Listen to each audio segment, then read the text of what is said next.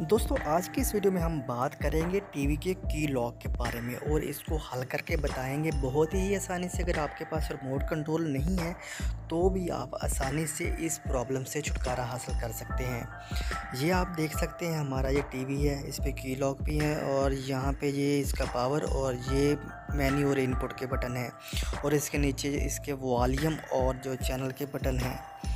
तो जब भी हम कोई भी बटन प्रेस करते हैं तो ये आपके सामने की लॉक ये शो करवाता है। यानी कि इसका कोई भी बटन काम नहीं कर रहा। ये चाइना में बहुत ज़्यादा जो चाइना के टीवी उनमें बहुत ज़्यादा होता है, बाकी टीवी में भी ये देखने में आता है।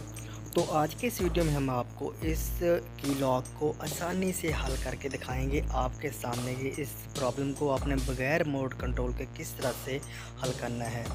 तो इसके लिए सबसे पहले आपने मेन्यू का बटन जो है आपके की पैनल पे टीवी के, उसको आपने प्रेस करके रखना है कुछ सेकंड के लिए। आपको की लॉक का ऑप्शन भी आएगा, फिर भी आपने प्रेस करके रखना है। तो आपके सामने ये, इसके बाद आपने इनपुट मेन्यू और पावर के बट, तीनों बटनों के ऊपर एक ही टाइम पे उंगलियाँ रखनी है और इनको 30 से 40 सेकंड के लिए प्रेस करके रखना है।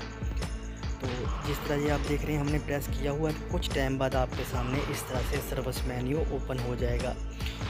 तो इस सर्विस मेन्यू में आने के बाद जब जहाँ पे आप पहुँच जाते हैं तो आपने शिपिंग मोड या फैक्ट्री रीसेट या शिपिंग एंटेल का मोड देखना है। तो स्क्रोल डाउन करने के लिए आप वॉल्यूम का जो बटन है अप और डाउन उनका इस्तेमाल करेंगे और उनके ज़रिए आप इस मेन्यू में नेविगेट कर सकते हैं। तो अब आपने स्क्रॉल डाउन करना है और हमारा ये जो शिपिंग है, सेकंड लास्ट पे है, शिपिंग मोड। तो आपके जो टीवी चैनल है, उसमें ये किसी और नाम से भी हो जाता है, यानी कि फैक्ट्री या शिपिंग अंडल के हिसाब से। यहाँ पे आने के बाद, अगर आपके पास रिमोट कंट्रोल है तो वहाँ से आपने राइट या ओके का बटन प्रेस करना होता है। और अगर आपके पास रिमोट कंट्रोल नहीं है तो आपने इनपुट का बटन प्रेस करके इसको कन्फर्म करना होता है। जैसे ही आप इस मोड को कन्फर्म करेंगे तो आपका जो टीवी है, वो ऑटोमेटिकली बंद हो जाएगा और दोबारा से स्टार्ट हो जाएगा। तो ये 20 से 30 सेकंड या एक मिनट तक का टाइम लेगा। उसके बाद आप ये देख सकते हैं आपके कीज़ जो है वो अनलॉक हो जाएँगे। तो मज़ीद इन्फॉर्मेशन के लिए आप हमसे रबता भी कर सकते हैं।